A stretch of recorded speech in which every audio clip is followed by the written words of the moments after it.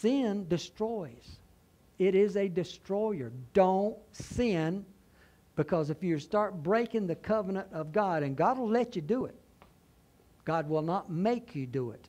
You have to choose to walk with Jesus. Come on.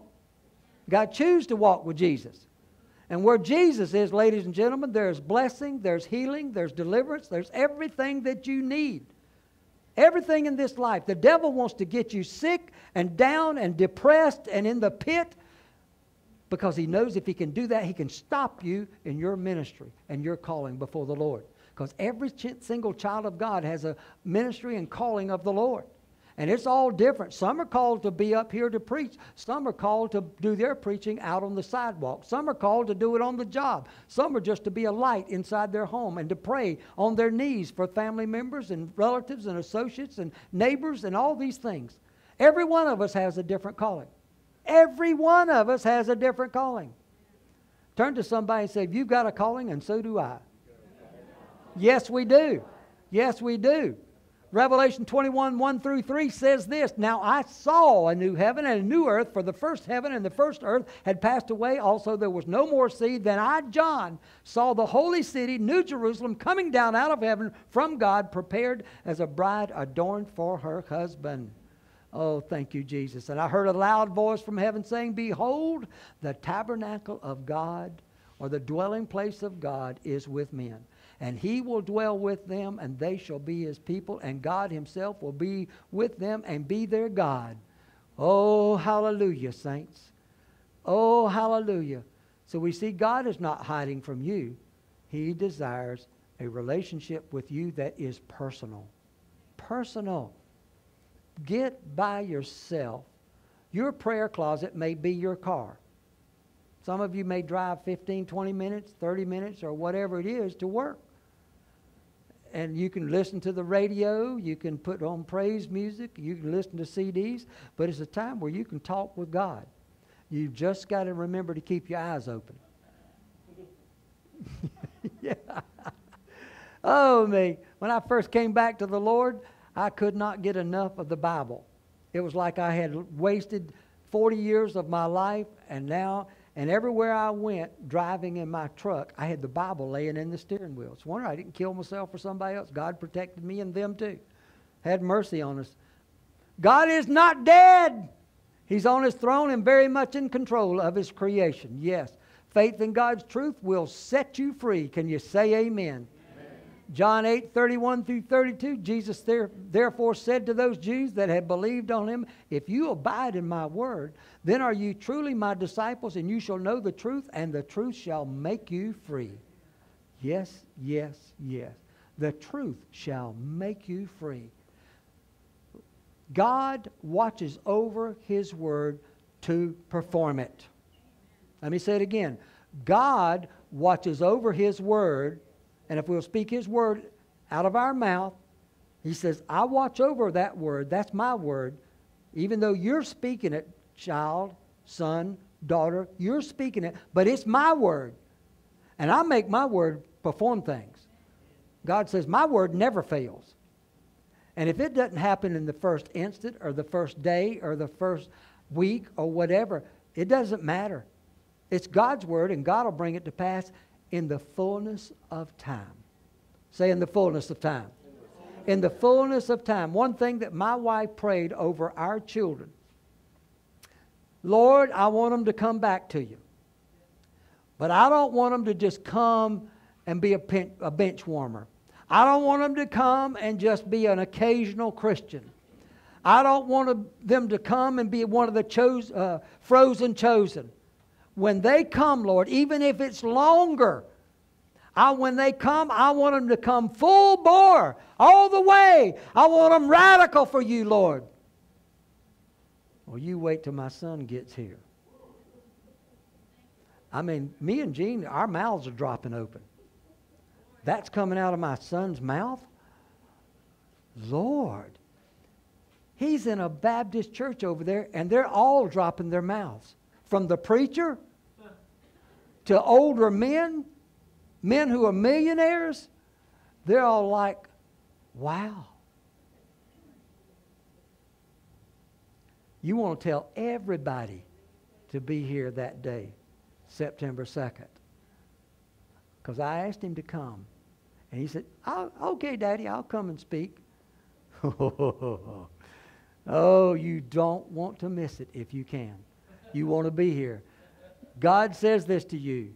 What says it? The word is near you in your mouth and in your heart, the word of faith which we preach, that if you will confess with your mouth the Lord Jesus and believe in your heart that God has raised him from the dead, what will happen? You'll be saved.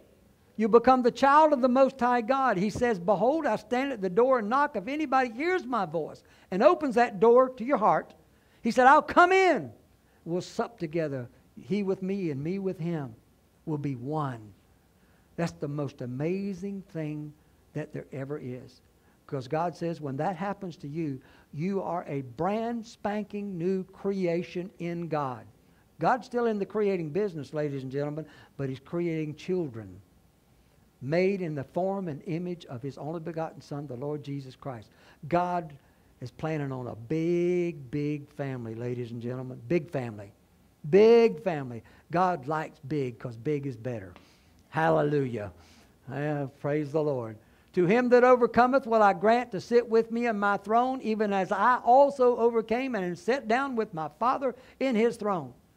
Are you an overcomer? Amen. God says you are. Be one. Be one. Walk on the high places of God. Get out of the rut. All a rut is is a grave with the ends knocked out. Revelation 7:13 one of the elders answered saying unto me what are those which are arrayed in white robes and where did they come from and he said sir you know he said these are they which came out of great tribulation Oh, yeah. Will you go? Or is the great tribulation going to come? Are we going to get raptured and go off to heaven? Nope. Sorry. Well, preacher, you're not preaching like all these other preachers on television. They've got all these reasons why the rapture happens before the tribulation. And I say they're wrong. They haven't read Jesus' words. I may be, uh, I might, I've been working on redoing that PowerPoint about the rapture so that it becomes very, very, very clear by the scripture that you'll know exactly when the rapture is coming because Jesus told us exactly when it will happen out of his own mouth. Therefore, they are before the throne of God and serve him day and night in his temple, and he that sitteth on the throne shall dwell among them. We're going to have a wonderful time with Jesus and the Father. Wonderful, wonderful, wonderful life changing. But praise God, you can experience parts of it right here now, which we did just a moment ago. When I begin to worship God, I do, His love comes down upon me so much, I start crying. And I'm not putting on, I'm not saying it because I just have fallen in love with my Lord. Absolutely head over heels in love with God. Because the further I go, the more I walk with Him, I discover how much more every day His love is for me. And it's like it's a continual. It's, you ever look through one of these little things called kaleidoscope? And every time you do like that, there's a whole brand new picture. Well, think about those angels that fly around the throne of God. Every time they make a circuit, they see something so brand new, so awesome, that they're crying out, Holy, holy, holy. And at the same time, those angels, because of the powerful manifestation of the glory of God, they're having to cover their own eyes with the one, uh, sets of those wings to look upon Him in His brilliance and holiness and purity. You see, ladies and gentlemen, God is an, as innocent in His nature and self as a newborn baby. I don't know if you've ever heard anybody say that, but that helps to give us a little bit of a picture of the very heart of God Himself. And yet, even though He's a consuming fire, He is love. Say, He's love. Jesus is love. God is love. You want to be born again? If you've not been born again, we can tell you how to do it. so you can go to heaven and be with God one day. Do it today. Do it now. Amen? Amen. Hallelujah. Jesus said in John 14, He says, In my Father's house are many mansions. If it were not so, I would have told you. But I go before you to prepare a place for you, that where I am, there you may be also. Ladies and gentlemen, I'm planning on going to my mansion in heaven. It might be nothing more than a little log cabin, which I don't believe so, but it'll be my log cabin will be made out of gold. oh yes, even the floor is paved with gold. Oh my goodness, anything in heaven is going to be awesome and wonderful and good. And it's a reality, ladies and gentlemen. I've been there one time. I've been there one time. And it's so amazing and wonderful. God keeps his word. I, I want to close this morning with this one thought. We, we all got things going on in our lives that are there to frustrate us, to confuse us at times, to get us discouraged. And, and, and, and like we was talking in the earlier slides about the wars and the diseases and the things that's going on in this world, it's all because of sin. Every bit of it's because of sin. But when we start looking at our situation or the situation of that person that we care about so much, and, and, it, and it almost just tears us to pieces, we have forgotten to take our eyes off of that and look up to Him. And I mean, they wrote a song about it. Let's forget about ourselves and concentrate on Him and worship Him. And if you ever want to know in your heart of heart of heart about what God has plans for this loved one or that situation or whatever, don't try and figure it out yourself. Do not try and figure it out yourself. Because God will blow your mind by doing it in a way that you have not even thought of. Because we, Gene and I have seen that happen in our family and loved ones before and over and over again with we think it's got to be this way. And, that, and it happens, God answers the prayer, but it didn't happen that way at all. Not at all. It didn't happen that way. It came around from a totally different way. And God just laughs at me. He says, Honey, child, see there? I did it. God is, everything with God is possible. Trust God. Amen. Trust Him. Praise Him. Worship Him. Magnify Him. Fall in love with your God. He loves you. Amen. Amen. Stand up. Yes, ma'am. Okay. Yes, ma'am, I do. Might have to turn it back on again, but praise the Lord, we can take care of that right now. Testing. Te- praise God. No. It's on? Okay. Hello. Hello. No, it's not on. Did I give her the wrong one? It's on. It's got a blue light. Oh. It's on. One, two, three. Well, that's mine. Testing, testing. Hello. All right. Well, I guess I'm just gonna talk loud enough where everybody can hear me. Um, this is a, a 911 call. What's uh, your emergency? Ladies, we're gonna begin a prayer class we're going to learn how to answer those emergencies. We have to treat every attack of the devil as an emergency. Yes. We've got to stop it immediately. We cannot give him any foothold. We cannot allow him a second of trouble. We've got to stop him. And ladies, we're going to come together and we're going to learn, we're going to study and meditate on God's word and learn how to apply it in our everyday life.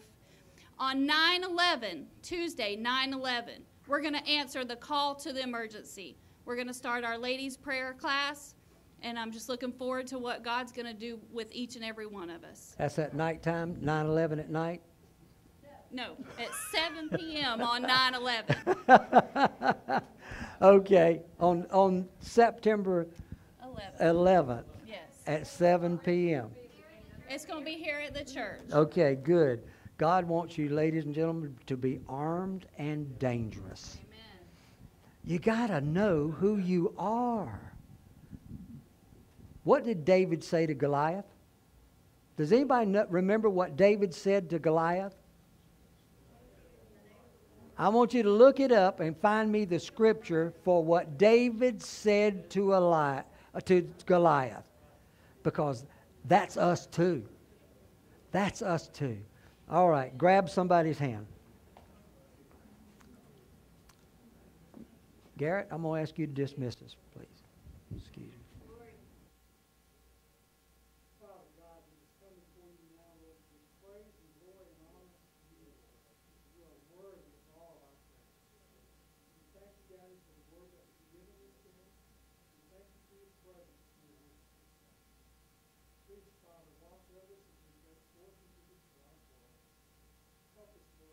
good work.